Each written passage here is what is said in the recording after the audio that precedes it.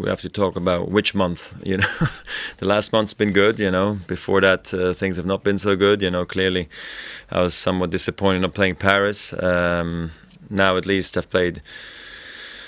I think really important for me was to to get some confidence and some knowledge of where I was going to be in those seven matches in 10 days in Stuttgart and Halle. So I think that was crucial for me going into Wimbledon, knowing, okay, uh, I passed that test. The body can take that, that amount of tennis, four matches back to back to back. It's really, really important for you know your mind to know then you also feel you can you know manage the five setters you know if you get a day off and all that stuff it's not a problem so all of a sudden you're coming into Wimbledon you know with more confidence and just uh, more understanding where you're at and um, now we'll see. I mean, clearly, I'm not thinking of the title right away. It's just it's too far ahead. It's too far, regardless if even Novak or Andy would be in the draw, and they are in the draw, and they are the big favorites in my opinion.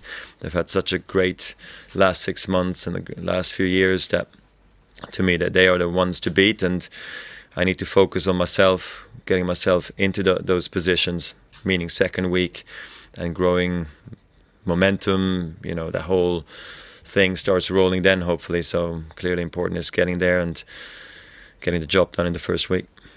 I honestly never thought I was going to miss Wimbledon um, especially also after surgery. I knew I had so much time uh, to make it here that I knew I was going to be fine somehow.